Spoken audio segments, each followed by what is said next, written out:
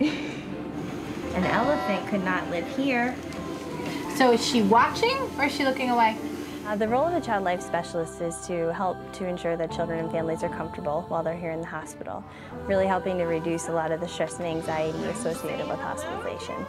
So a child life specialist might be found providing uh, preparation for a procedure, helping uh, to normalize the hospital experience by providing play opportunities for kids. Playtime is so important for kids when they're here in the hospital because it's the one thing that can be seen as a normal thing.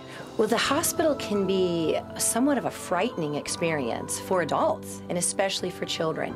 And we know now that children really want information about their illness. Doing a great job, Ducky.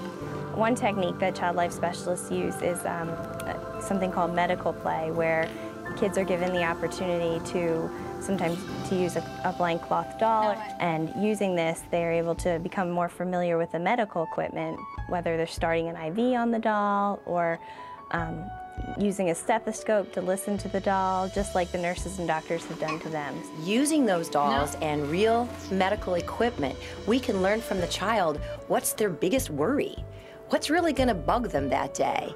And if it's important to the child, it's important to the healthcare team. Child life specialists are an integral part of the medical team, and it is now the standard of care in pediatrics to have emotional support be part of the team discussion. Our team together really does help to make the whole package for families here in the hospital.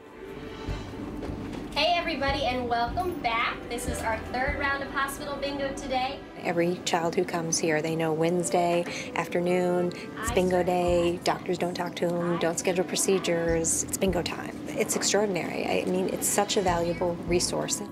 Hospital Bingo is our centerpiece show. It's um, what I would call perfect. So what we do is, as I describe the piece and they look for it on their board, um, we talk a little bit about the function and the use of each piece of equipment and surgical gown. This is worn by hospital staff. So there are a variety of ways that kids can be involved in bingo. We actually play the live feed in a playroom, so kids are there watching as I'm hosting. So that's one experience.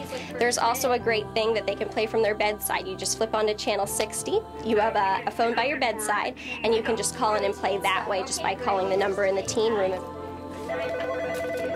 And there's somebody else on the phone. Hi, this is Bingo. Hi, this is Michelle. Bingo is also very popular because we have wonderful donors in the community who um, donate money or give prizes that we actually give out. Every child that plays gets a prize. So we have an average of about 75 kids that play for per week, and sometimes they can win multiple times. We play three rounds, so it's a lot of prizes. I can't imagine what the hospital experience would be without Child Life. She sits in her room, she's unhappy, you know, there's nothing to do. She feels sick, she feels terrible, and you have things to look forward to with Child Life. It gives you some structure to your day when you're in this place and it's sort of endless days of unhappiness in a way, and Child Life brings you happiness. There it is. Great it is job. my vision that there will be a time when wherever a child interfaces with Johns Hopkins Medicine, there is a child life specialist there to help them prepare for the difficult experiences they might have.